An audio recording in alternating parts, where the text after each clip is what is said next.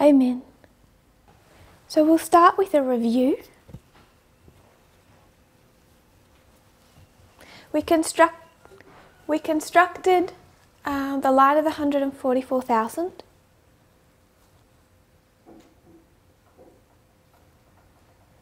And the line of the priests. We placed ourselves here between Raphia and Panium. 2019 and 2021.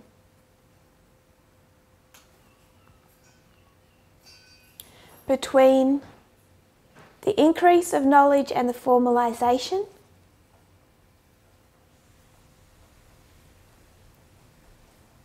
Of the early rain for the 144,000.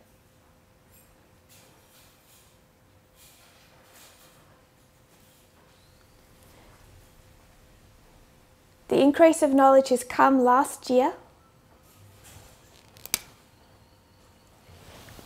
The increase of knowledge of the Sunday law.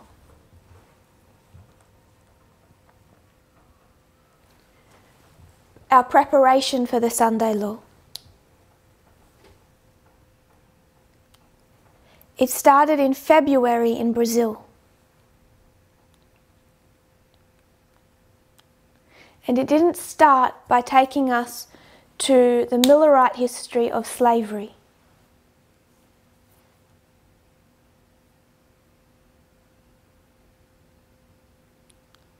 It started by taking us to 1888.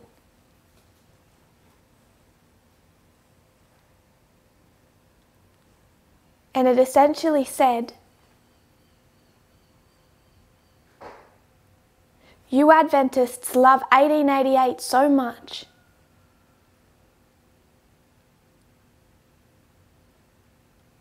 But we do not understand the external.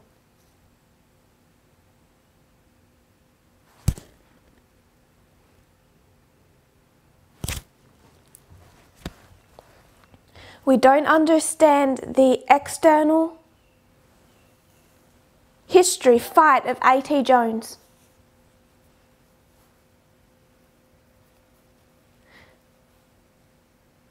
What he and others were standing for, were fighting against.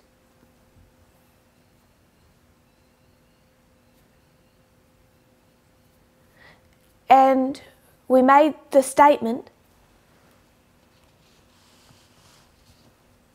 if we were to face a similar fight today about church and state, Adventism is on the wrong side. And the litmus test was 2015 gay marriage.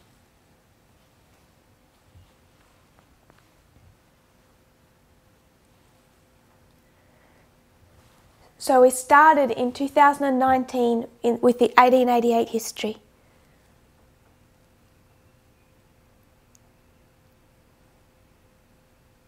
God entered that entering wedge of you don't understand 1888 itself.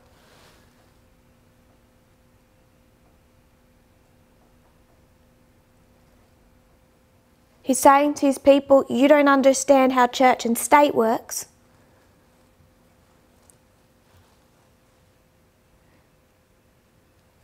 And then by August,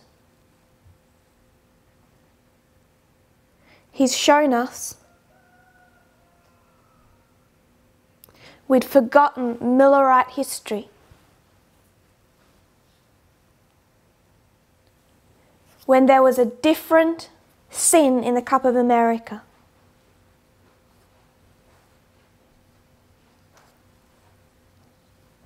And when Ellen White says in about 1868,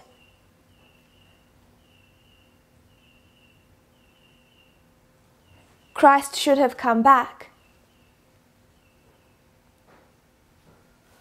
we can easily demonstrate. The sin that overthrew America in that history was not Sunday.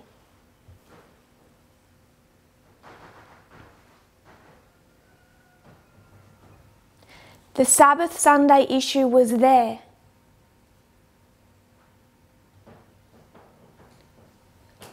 Because an Alpha history is always the reintroduction of the Sabbath.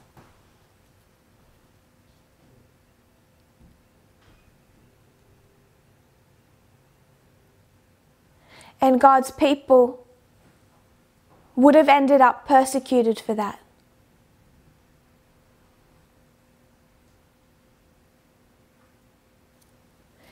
But that does not make it the sin that filled the cup.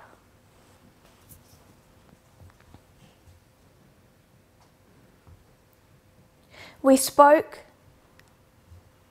yesterday about how a waymark is a period of time.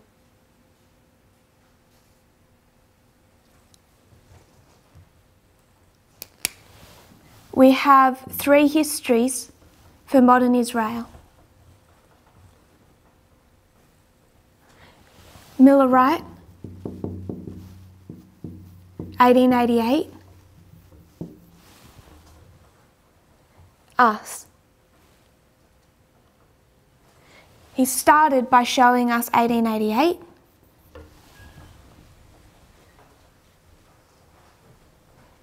In February,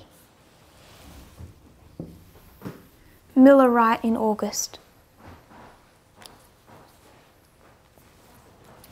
And the review of these two histories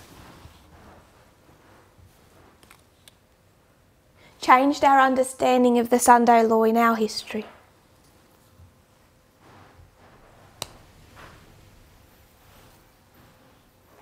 It was a period of time,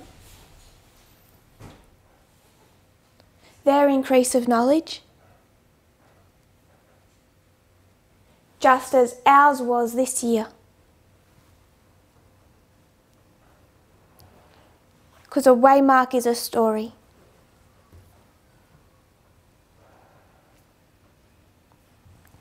So we stand in the swelling of the understanding of the Sunday law.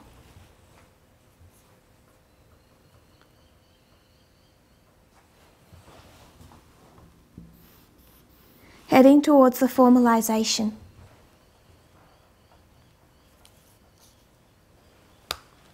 We also stand on the line of the priests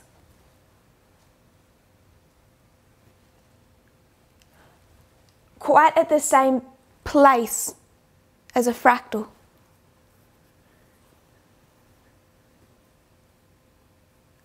Heading towards the formalization.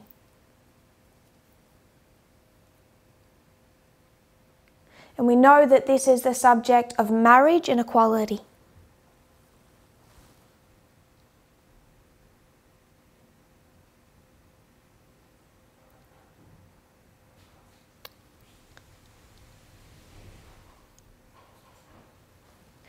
We discussed 1798. I'm going to erase these two lines now for space, if you don't mind.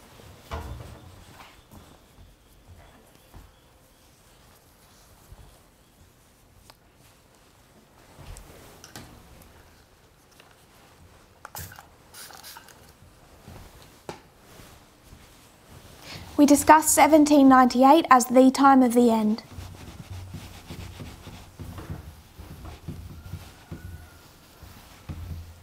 And we decided to view it the way Ellen White does.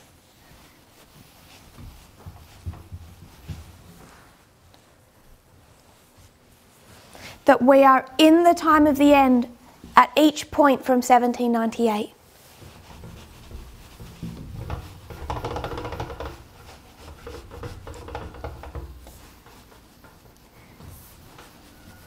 So in 1910, If Ellen White wants to say she's in the time of the end,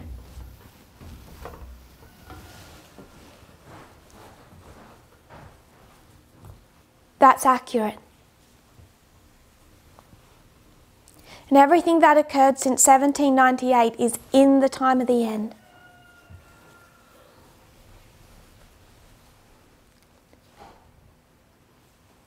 And God has given us different models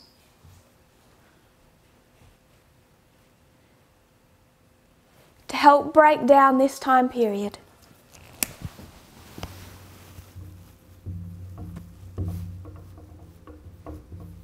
To make sense of what is happening externally.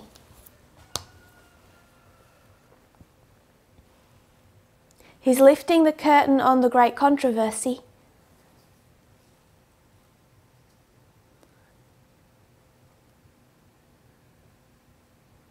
So we can see the players behind it.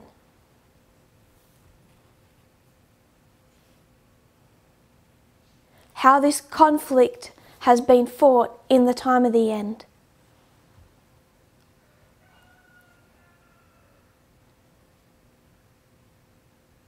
Now, if people want to write in the chat, the three structures I mentioned yesterday that he's given us.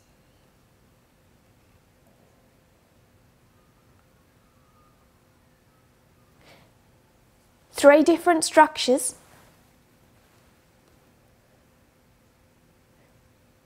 with three different themes to make three different points. Or three different overlaying applications.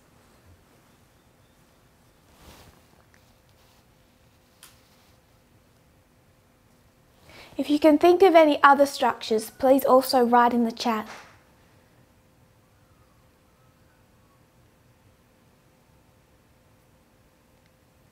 If there's another structure we take to the time of the end.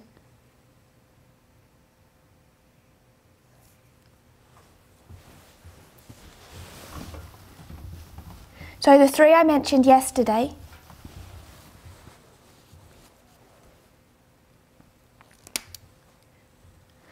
The first one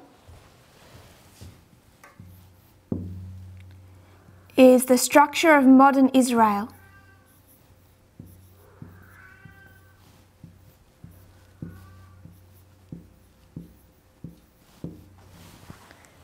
Does everyone remember that?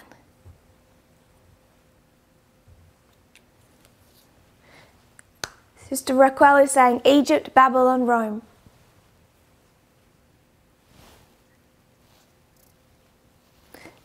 That's the ancient Israel structure that we can see as an evidence for modern Israel.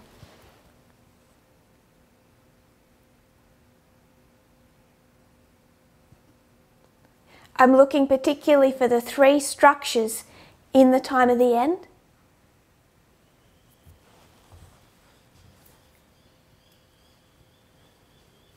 What is modern Israel's three histories?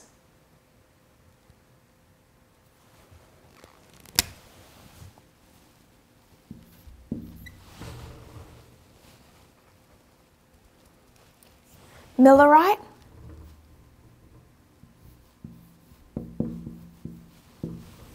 1888,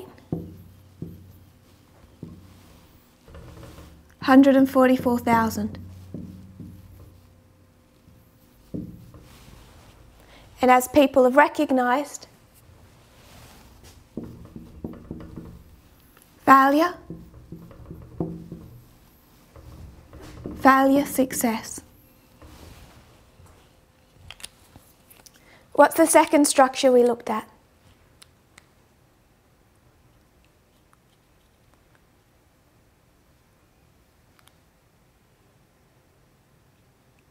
the counterfeit.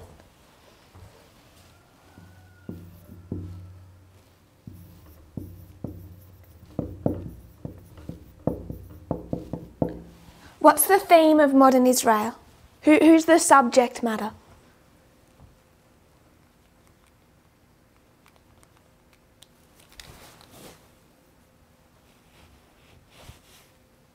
God's people. I'm just going to call it Adventism.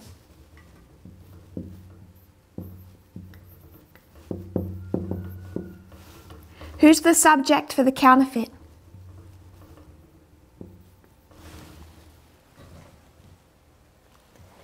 Papacy. Now, if I'm not going to say anything more than that, it's just a comment some people may object to.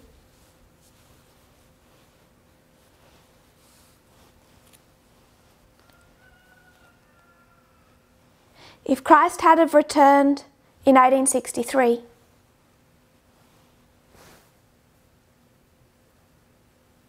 the papacy would never have gotten its boots on.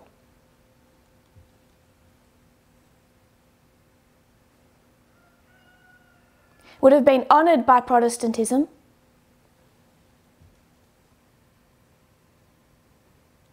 But the papacy was not strong.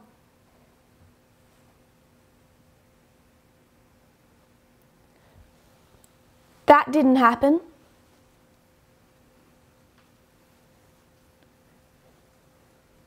So in 1899,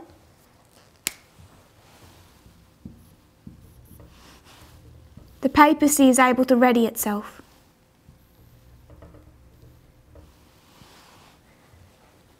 How many histories?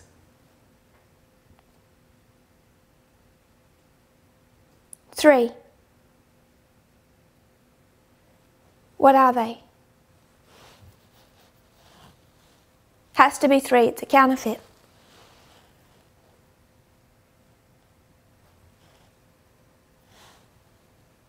Someone suggests the three world wars? Close?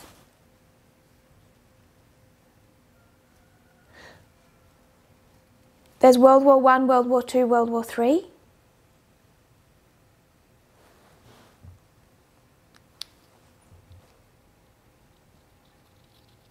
What's the alpha history of the counterfeit?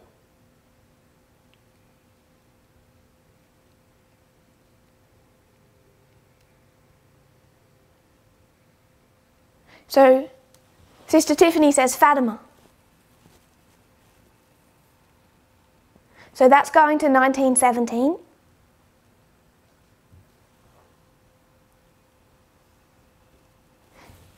Sister Rose, Brother Marshall. Alpha History is 1899 to 1945.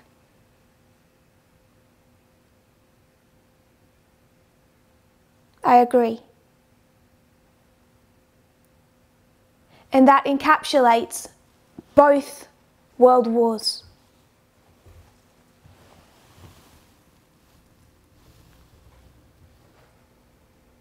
So World War One and World War Two are both part of the first history. We okay with that?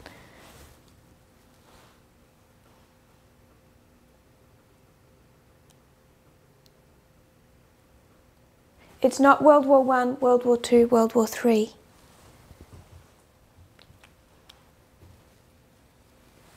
It's World War One, World War Two, first, second angels' messages.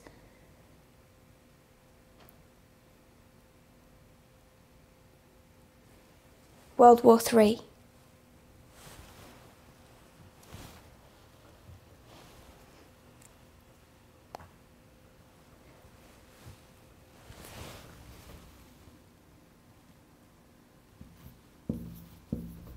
Eighteen ninety nine to nineteen forty five.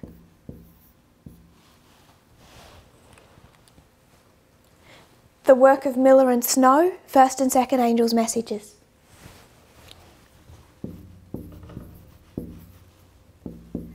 Seventeen ninety eight to eighteen forty four.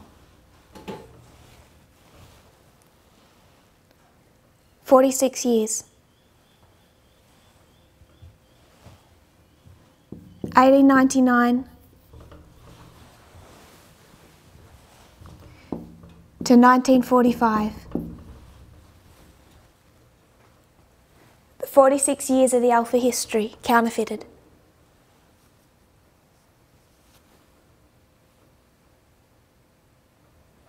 Resurrected by the messages of Miller and Snow.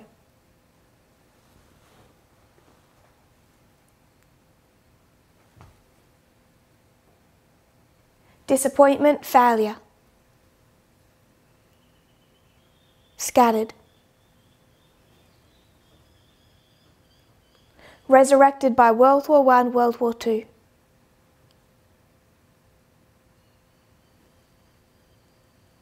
Disappointed, scattered. 46 years, 46 years.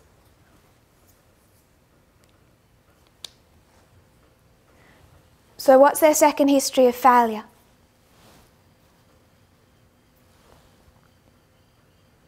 Sister Raquel says Pope John Paul II.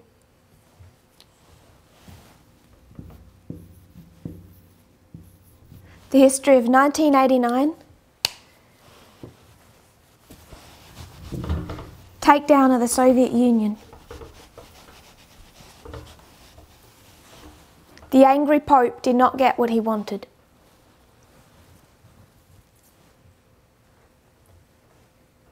When does a history of success start?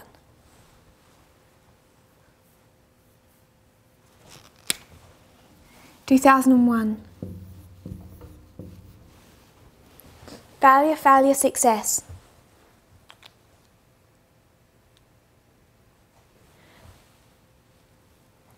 Pope Pius XII.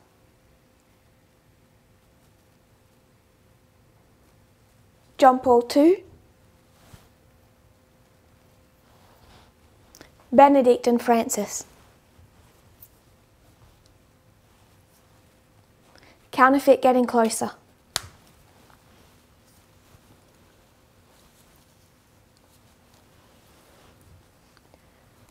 The third model, yesterday, what was that?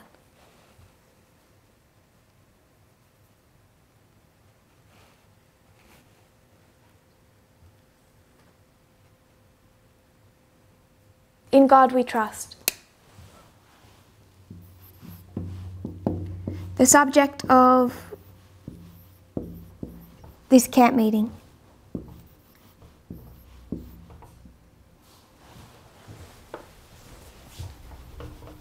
What's the theme of this structure?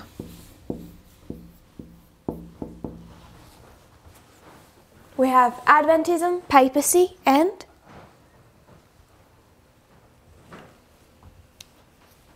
papacy's church and state.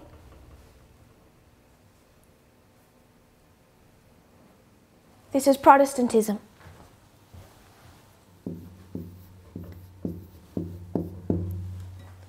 And Brother Mikhail's already getting it. He said three histories.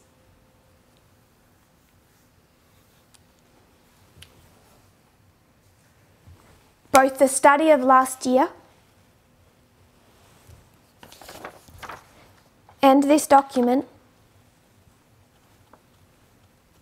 say there are three movements to make America a Christian nation.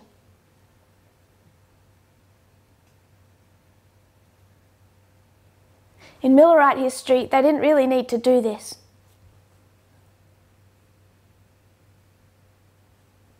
Just after the Second Great Awakening, it practically was.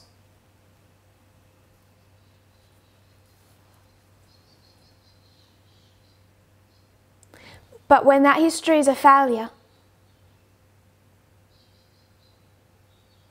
Protestantism mobilizes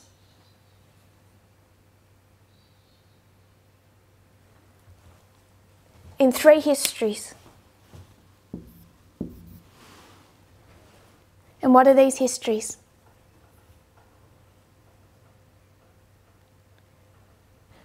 Christian Amendment Movement.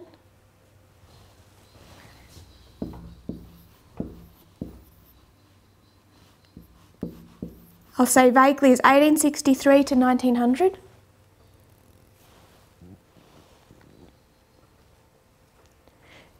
Judeo Christian nationalism.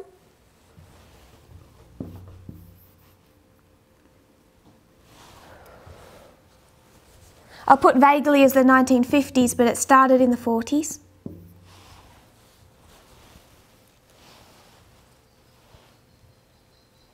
And the new Christian right.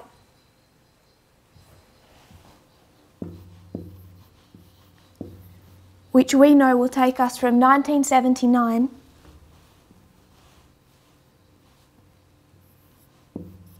at least to the Sunday law.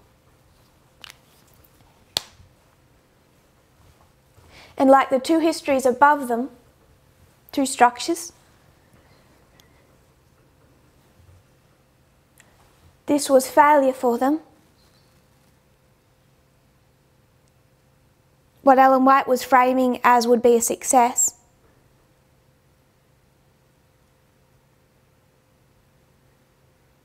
When she says the movements now in progress will imminently introduce the Sunday law.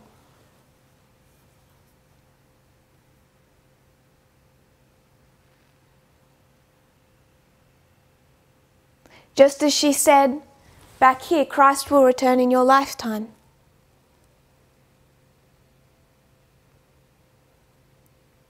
She frames this as if they were a history of success. She has to.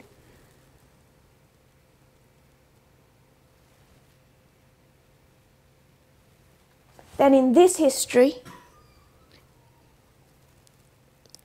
all through the great controversy, she frames that as a history of success.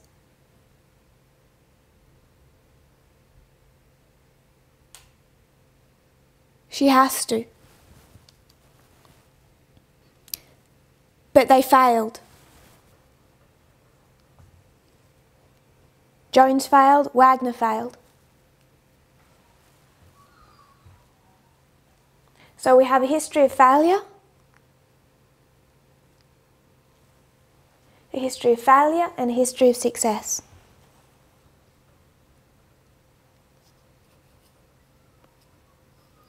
So, if people understand other structures to break down the time of the end history,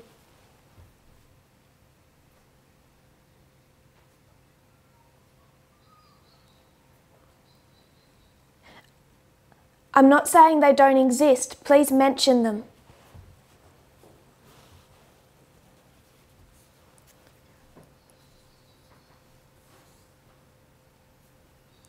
As you might think of them. Don't think the 10 year history could be used as a structure to, to break it down this way.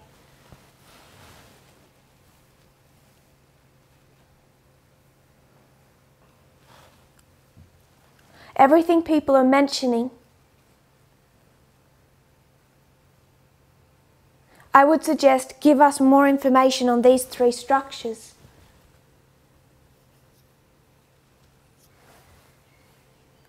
Ancient Israel is going to give us an explanation of this structure.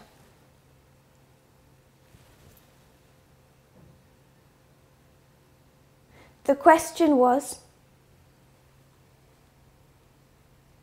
Do we have more than these three structures to break down the time of the end?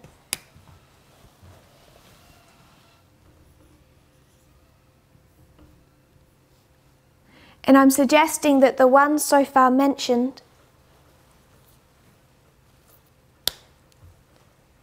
give more detail onto these.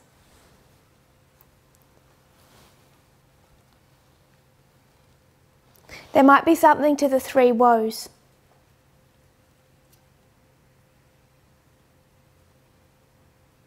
So that's a good point. I'm suggesting that these three are the key structures God has given us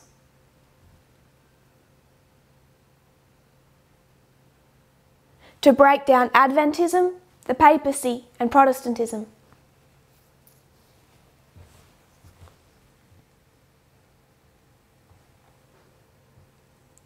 And however much they differ in time in the histories of failure,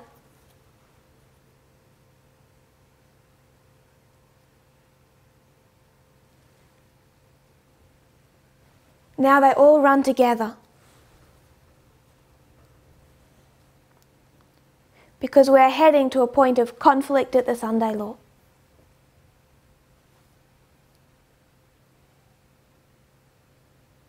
So all three groups are mobilized.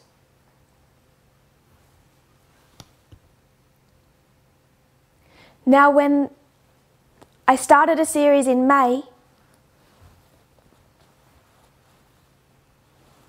I was determined that the subject of study needed to be Millerite history.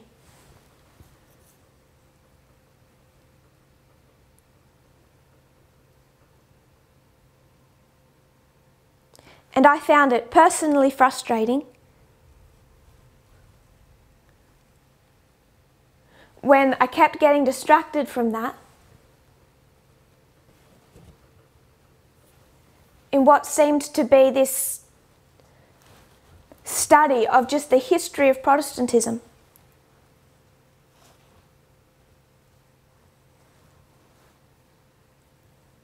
I couldn't verbalize it then. But God was moving us from this structure to this structure.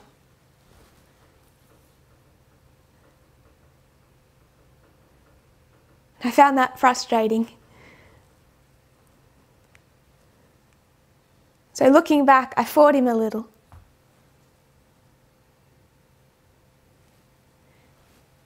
Because I wanted to talk, to talk about this, not this.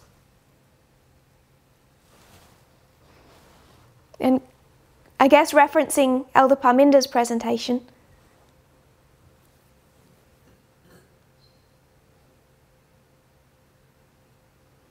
it encourages me that when we get out of line, God kicks us back onto the path He wants us to take.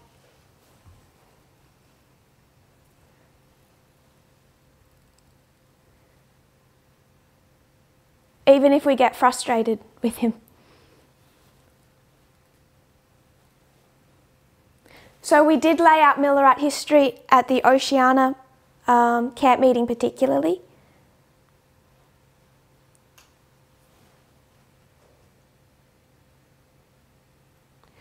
We did need to understand Millerite history, especially in the context of the election.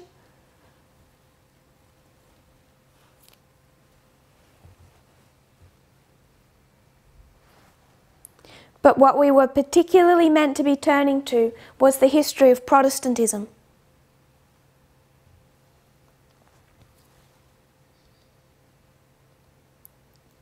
So at this camp meeting, It's the third structure that we're revisiting.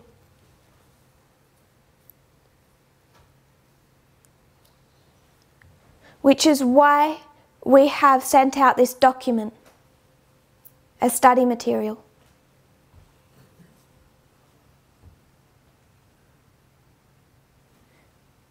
Which, as you all know, covers the exact same three histories.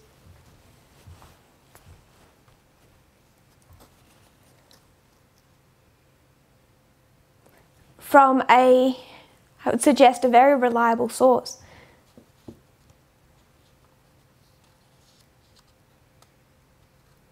I don't know if you've read the other material of Jared A. Goldstein.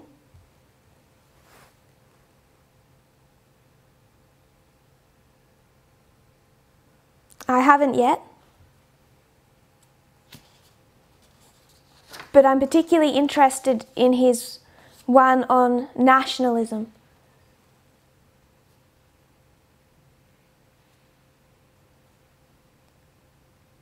We discussed yesterday the author.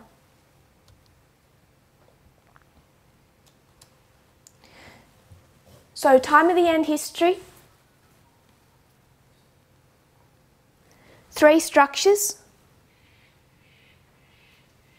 helping us break down Failure, failure, success for Adventism.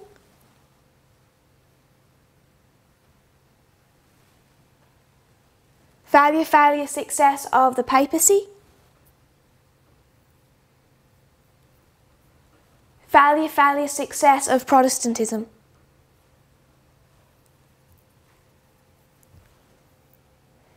Uh, someone has asked if I will, will share the documents. I can find and share them. That will be done. It's a good idea. After the camp meeting. um, after the camp meeting, they'll put, be put out on the media broadcast. So no one gets distracted from this one. But thank you to those who found the links. So that's helpful. So we're going to work through this document.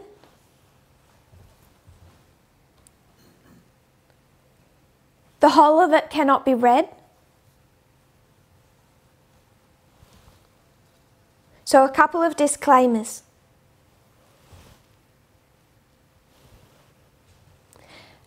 When I read, I'm likely to be paraphrasing.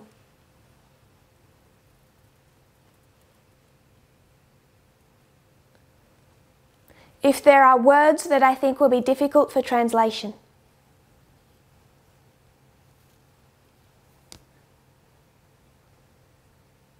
the translators have the document, they can either use another word or go with a more direct translation.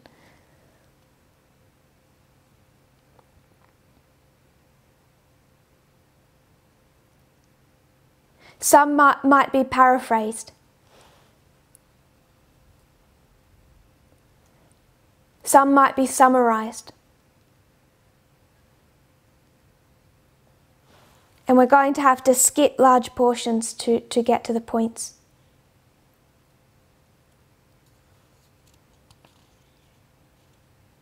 So I'm going to assume, hope that people have been able to read it.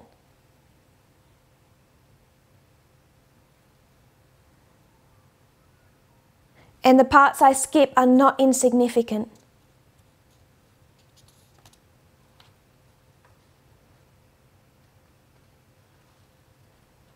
So please don't ignore the parts that I skip.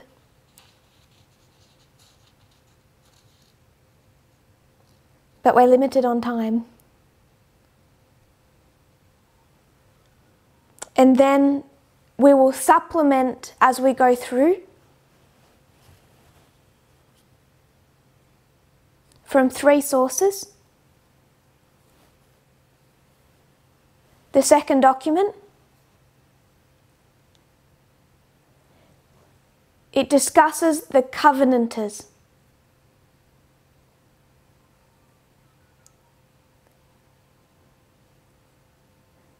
The most relevant branch of Protestantism to this history.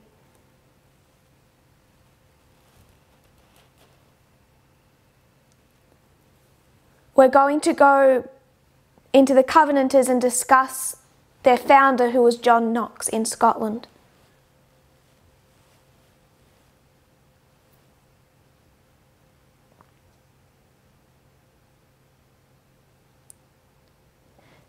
Then we'll also use A.T. Jones.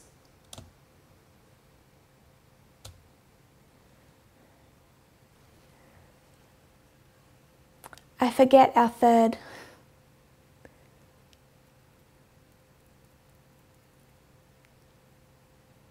Third source.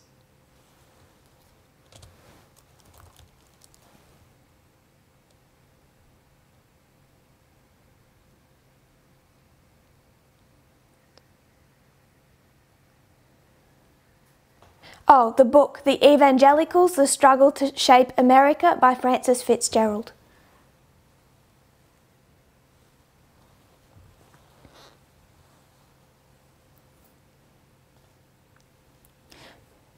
So I won't be quoting that book because that's difficult. But I'll make some blanket statements.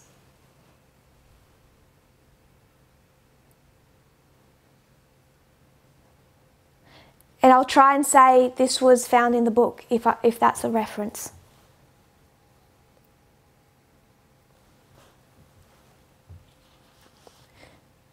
So if you turn to your document, How the Constitution Became Christian,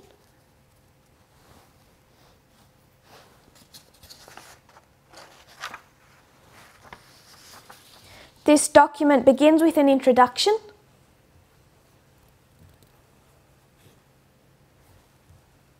Then it is divided into three parts.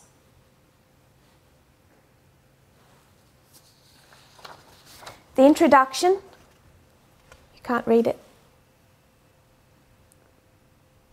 The fight to make the Constitution Christian.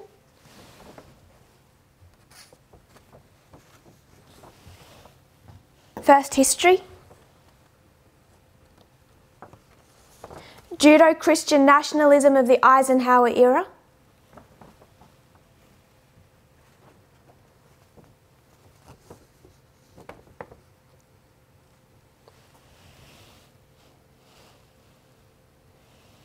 This history.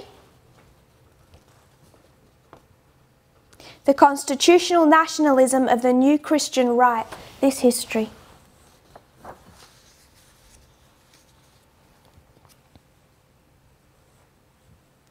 And then a conclusion. So it has an introduction, three histories, and then a conclusion.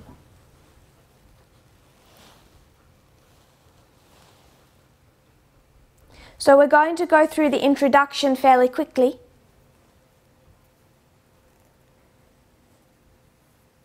If you've heard Elder Parminder talk about the principles of good writing,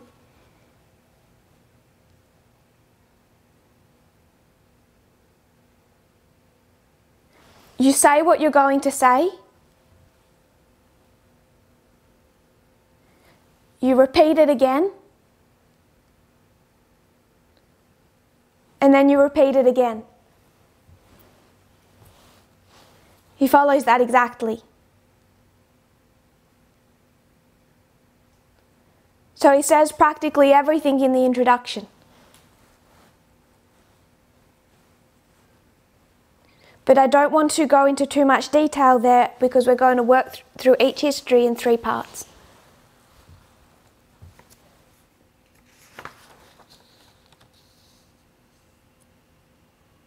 So even though there's so much in the introduction that is loaded, we'll keep moving.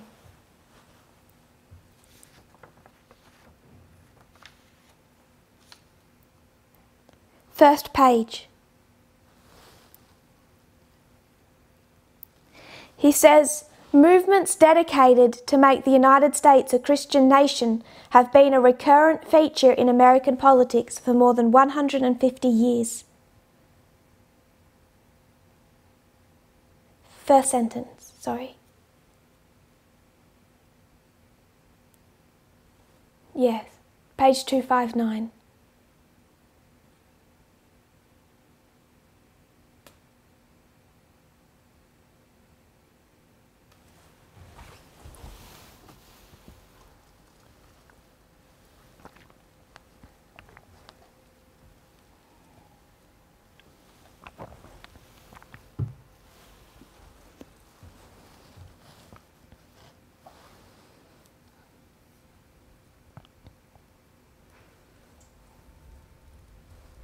Now, in this history,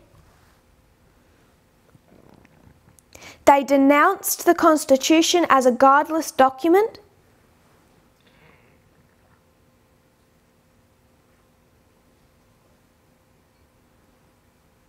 Unworthy of a Christian nation. And fought to amend it. In contrast, our history that came together in the 1970s, they hold up the Constitution as the highest expression of the nation's Christian identity.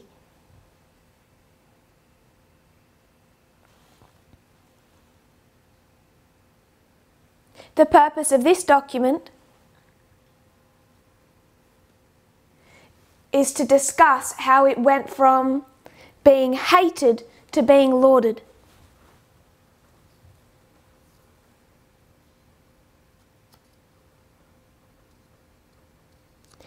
Third paragraph. They'll understand the conflict over the Constitution.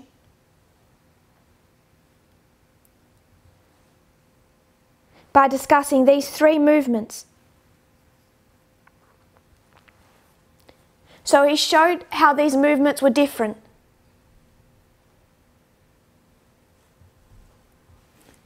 Hate the Constitution, love the Constitution. Now he wishes to make the point that they're similar.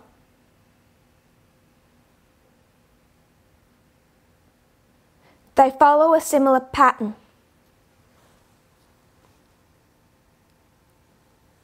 So I hope you can see he's taken three histories.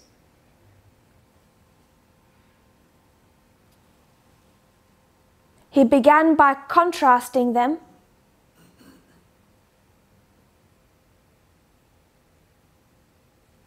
But now he's going to compare them.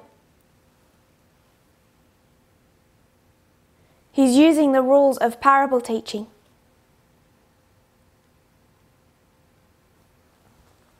And how they're similar, he's going to say that there's a dominant religious group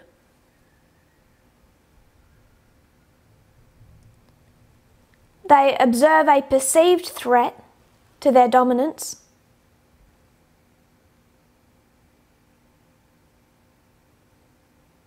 So they mobilize. They believe that their Christian devotion is part of America's essence.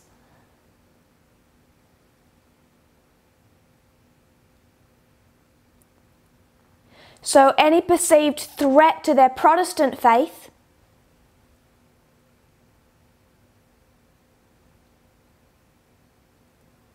they can interpret as a nationalistic attack on America's identity itself.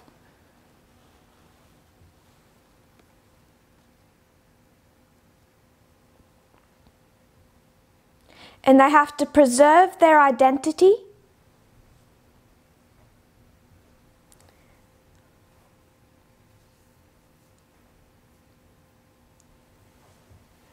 by either amending the Constitution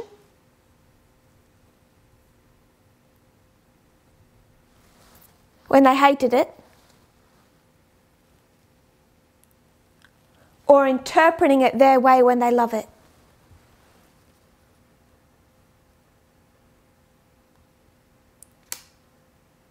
Last paragraph.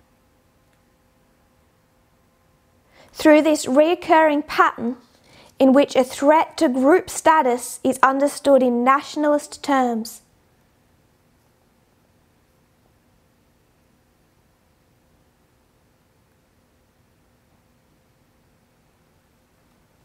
So there's nationalism through this.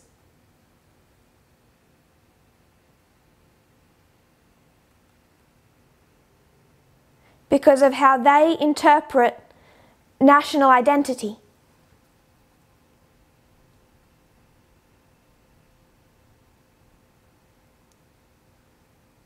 So, this reoccurring pattern is a dominant religious group seeing a group threat.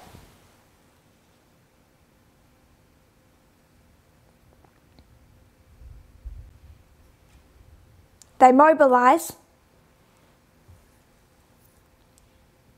They make demands based on the Constitution.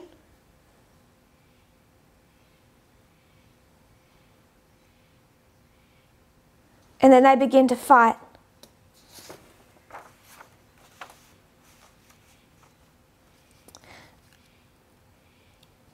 I'm going to skip the first part of the introduction.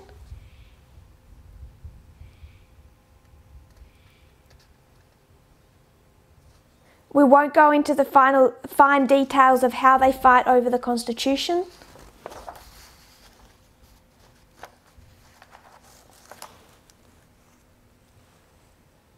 But we'll go to page 262.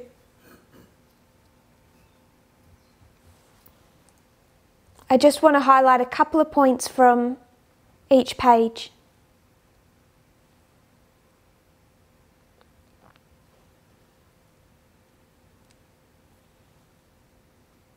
Their fight over the, the identity of the nation all centres on the Constitution.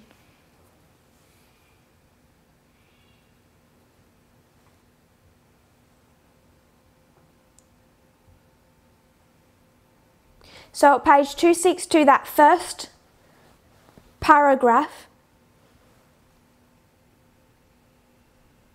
beginning as this article begins to show.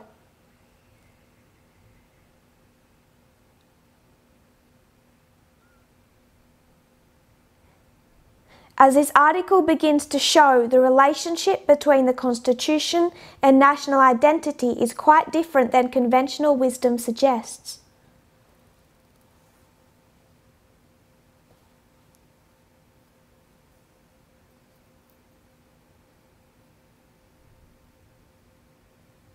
Rather than defining what it means to be American, the Constitution has become the battleground on which disputes over national identity are fought.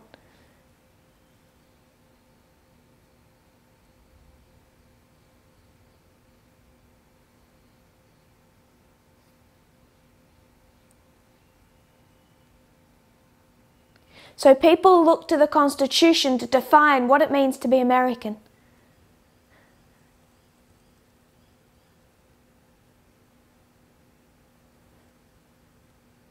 But it's like people expect too much of it.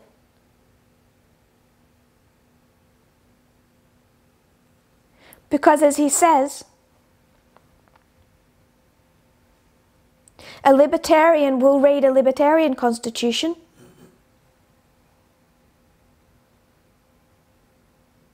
A progressive will read a progressive constitution.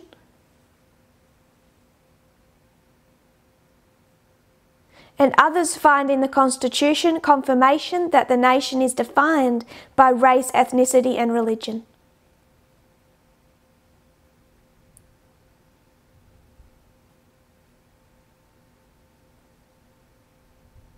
Nativists read a nativist constitution while white supremacists read a white constitution.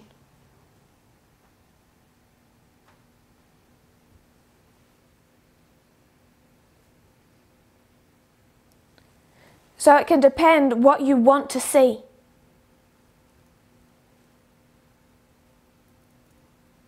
And each group might have a point.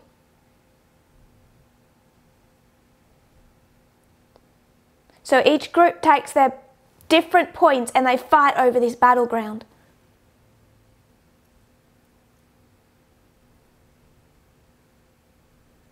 Over their right to fight what America is in its essence.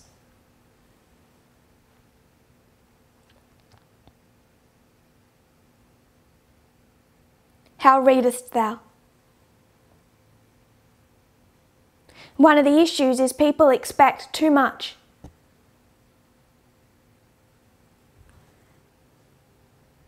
Because when white supremacists read a white constitution, they have a point.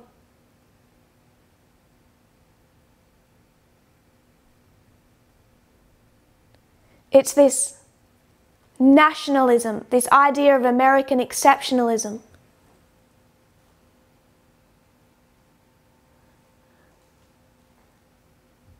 That lifts up this document well above the status it should have.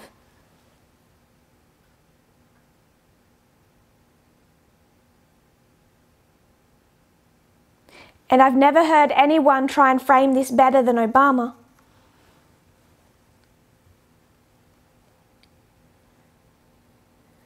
When he des- describes it as that star you'll follow.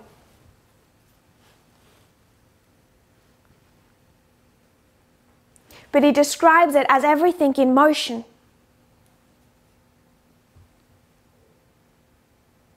Not with the idea that Amy Coney Barrett has.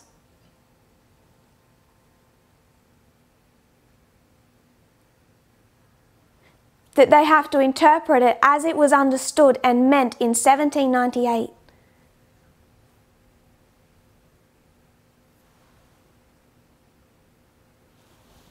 When it was written by white nationalists.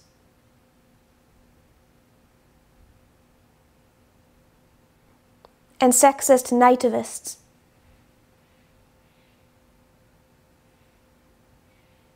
So they're going back and saying it's all important what we, it meant then,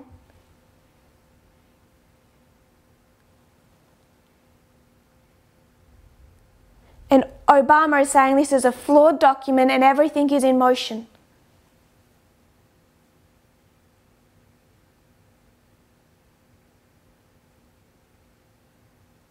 Which means we need to reinterpret, amend anything necessary.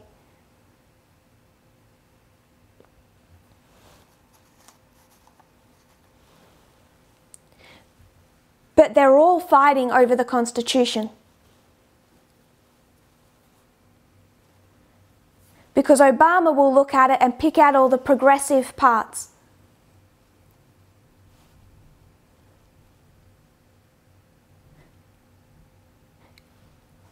and see that as, as evidence that America must head in a progressive direction.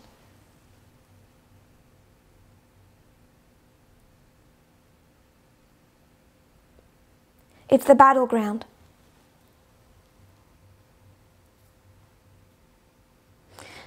In the next three paragraphs, he's going to briefly summarize the three parts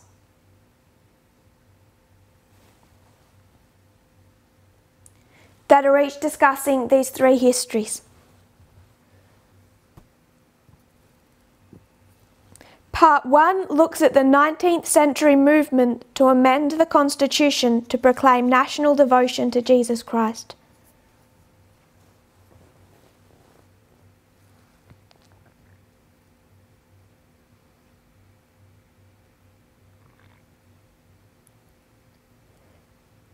As this chapter will discuss, some evangelical Christians rejected the Constitution because they considered it a godless document that lacked any expression of religious devotion.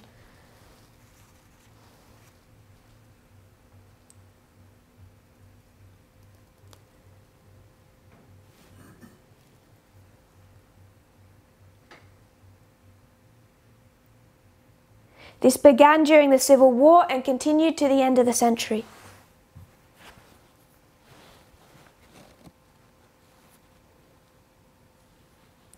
They organised a national movement to make the Constitution Christian.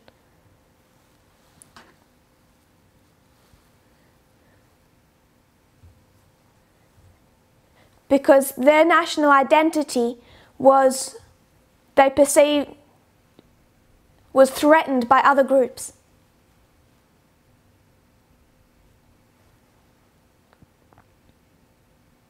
And he lists four threats.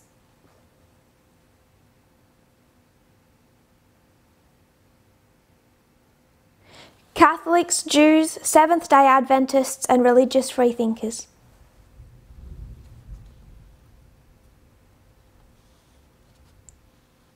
We'll go further into that. Last sentence of that paragraph. The nation's Christian Protestant identity could be saved, the movement argued, if only the Constitution could be made Christian.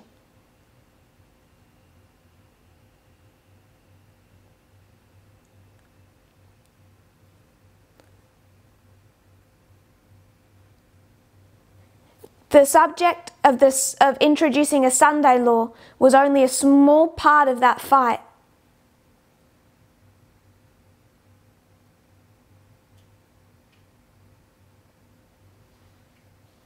One part that was not the whole. The fight was to amend that constitution and make it reflect their religious identity.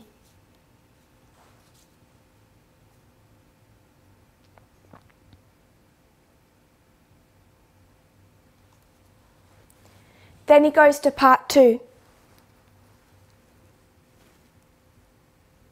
Part 2 looks at Judeo-Christian nationalism, Judeo-Christian nationalism of the Eisenhower era.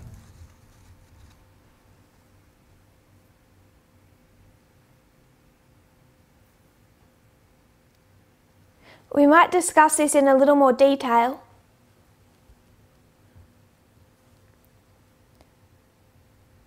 As to why they start using Judeo Christian rather than back here Christian.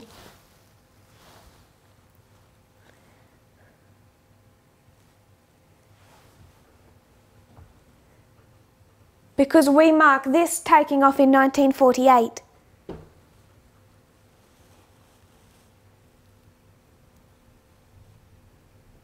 And the problem is they want to force America into their Protestant structure.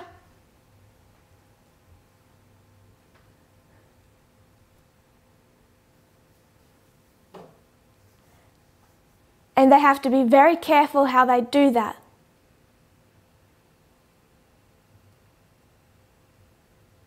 Because it's a few short years after 1945.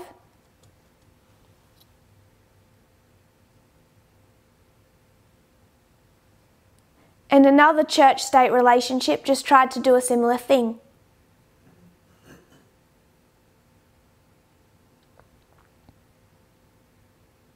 Nazi Germany had tried to force its identity on its population.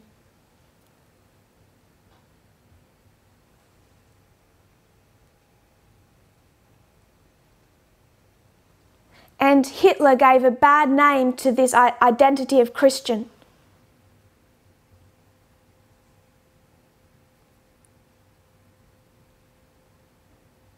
So they have to step very carefully in the 1950s.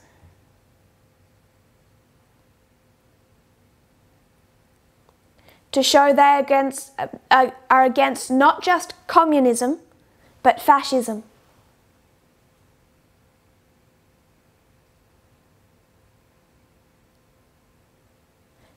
And they're going to soften what they're doing by identifying themselves with the persecuted Jews.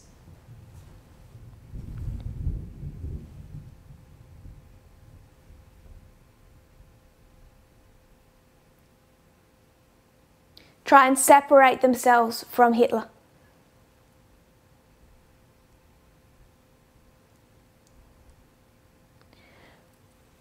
But Sister Debbie made a point that was another issue.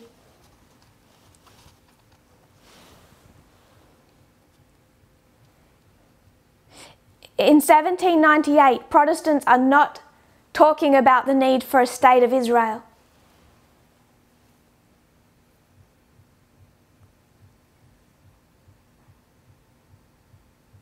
But they had developed that message. their understanding of uh, the Battle of Armageddon, the need for Israel to be a nation, which occurred in 1948.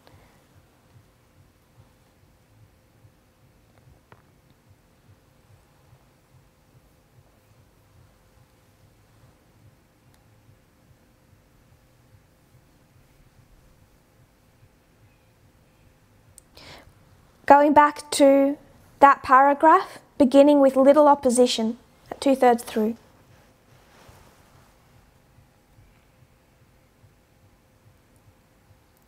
They succeeded in some of what they requested.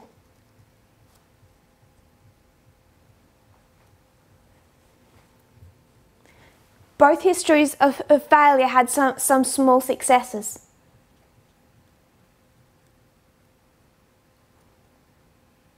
They succeeded in adding the phrases under God, to the Pledge of Allegiance, and in God we trust to the national motto.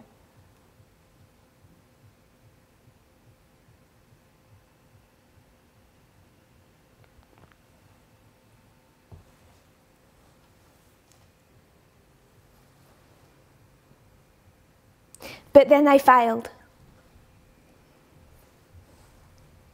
The whole movement ground to a halt uh, with some key Supreme Court decisions in that history.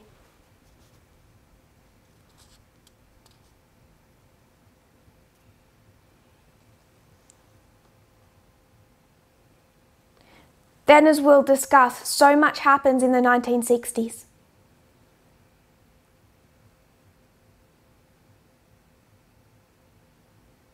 So much to perceive as a threat.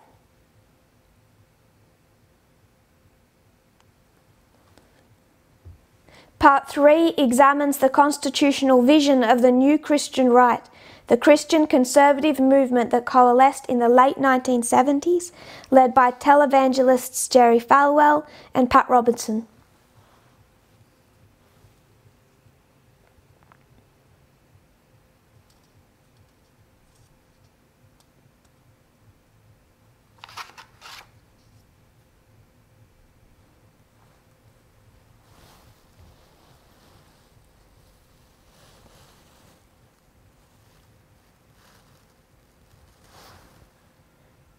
Jerry Falwell, Pat Robinson.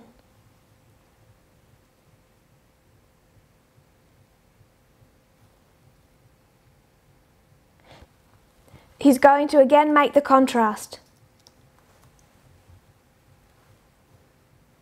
They're going to lift up the Constitution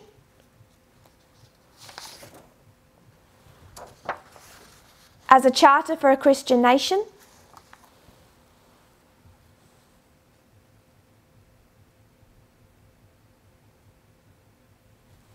Compared to this group that condemned the Constitution.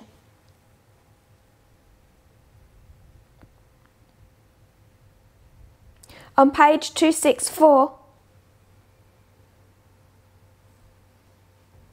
he's going to explain or compare these histories.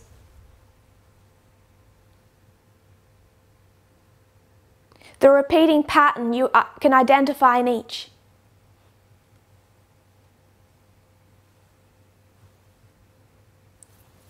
What's the first step?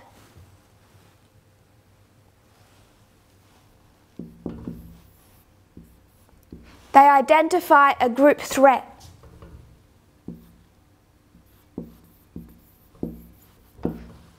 There's a threat to their national identity.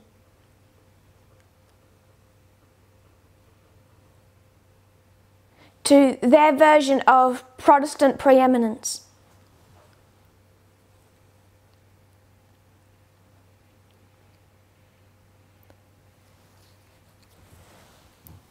Second, they structure this around a nationalistic framework.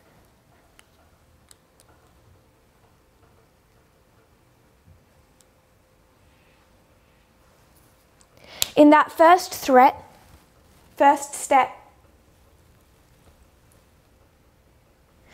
I'm Jerry Falwell.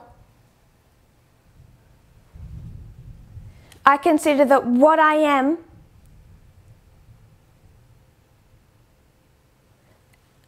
as an evan- white evangelical male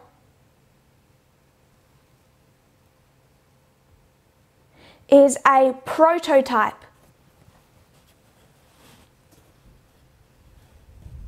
Do we understand the concept of a prototype?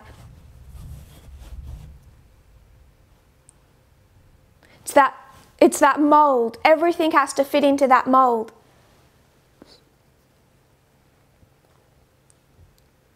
You want to invent something. You create this structure, this thing. You create this pen. Someone says a template, that's a good example. Now, everything coming after this has to look like this.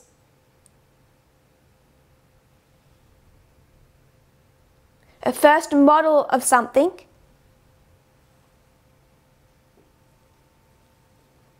From which other forms are just copies.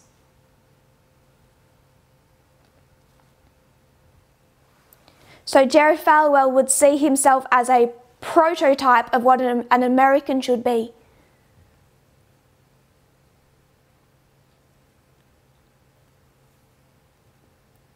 That prototype is under threat.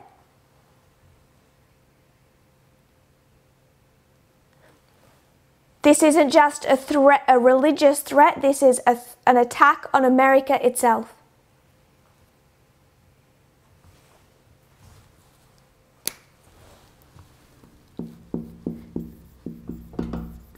So they're going to cast this around a nationalistic framework.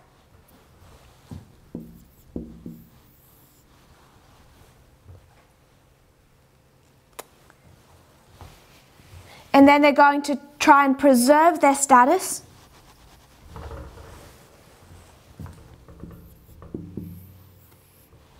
Through demands based on the Constitution.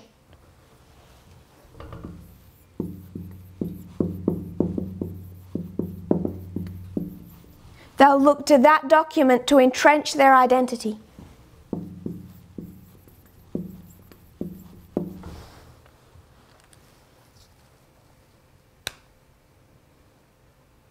He says, in each of these episodes, you see this same pattern.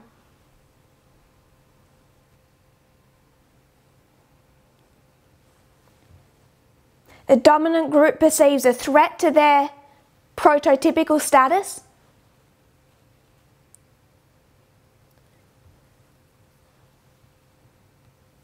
See that as a threat on the nation itself.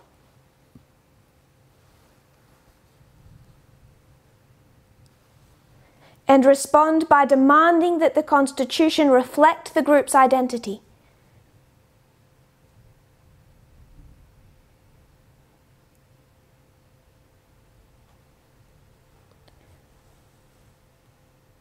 whether that be through amending the Constitution or interpreting the Constitution.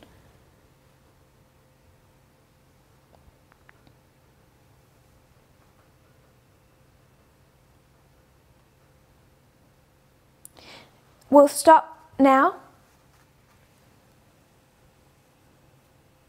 And then tomorrow we're going to begin part one. We're going to go into this history.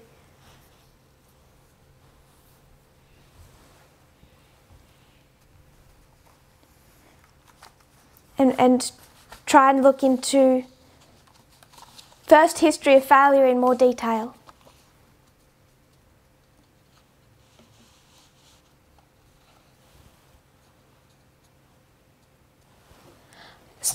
Scattering, gathering.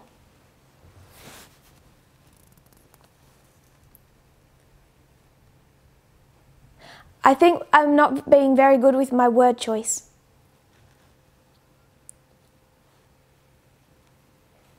I would agree that's a theme.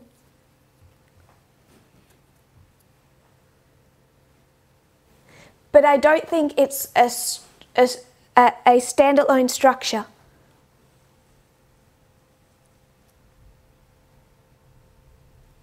So you, you could take that theme and you could bring it to these structures.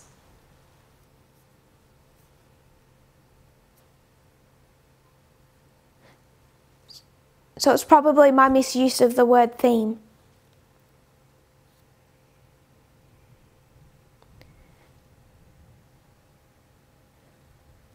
We have three standalone structures. There may be more. But this is what we need for Adventism, the papacy, Protestantism.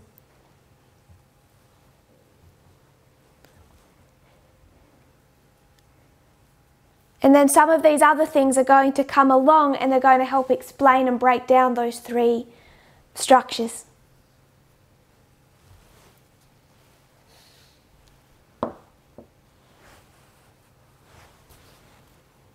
If that makes sense. We've discussed the import of these three structures.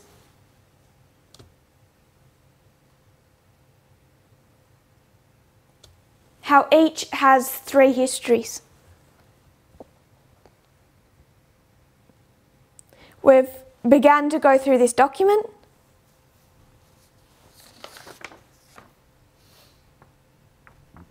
We've worked our way quickly through the introduction and we're ready to get, begin history number one.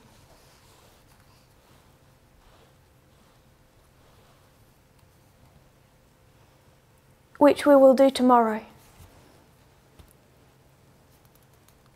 If you kneel with me, we'll close in prayer. Dear Lord, thank you for the effort you've gone to.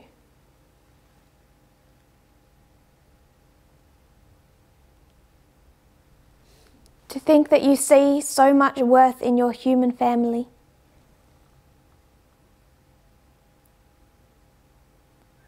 That you've gone to all of this effort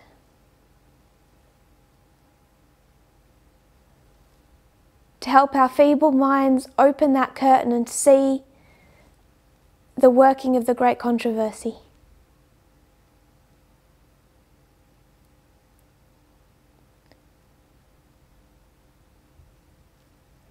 to help us understand the mobilisation of each group today.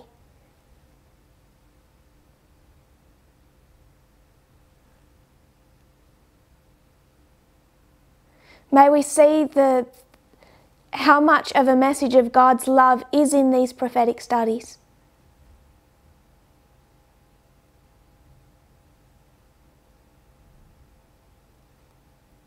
Prophecy not being separated from your love for us.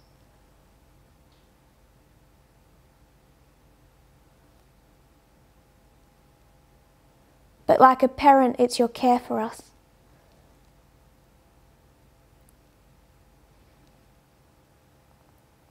I pray, Lord, that we will dedicate ourselves to these studies with that mindset.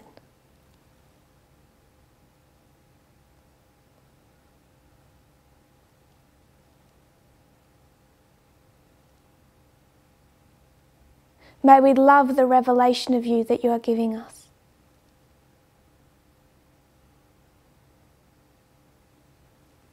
I pray this in Jesus' name. Amen.